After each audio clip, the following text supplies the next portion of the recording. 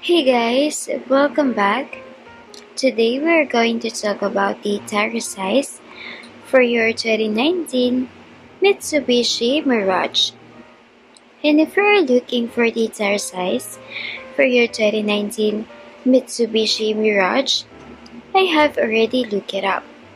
Just check the video description and I will try to leave the info there as well.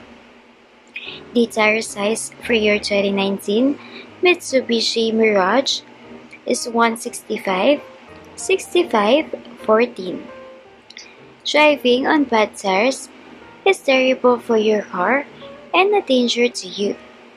Worn out, old, and damaged tires cause unnecessary wear and tear on your car. Replacing your tires regularly is very important in order to keep you safe on the road. So once again, the tire size for your 2019 Mitsubishi Mirage is 165 65 14.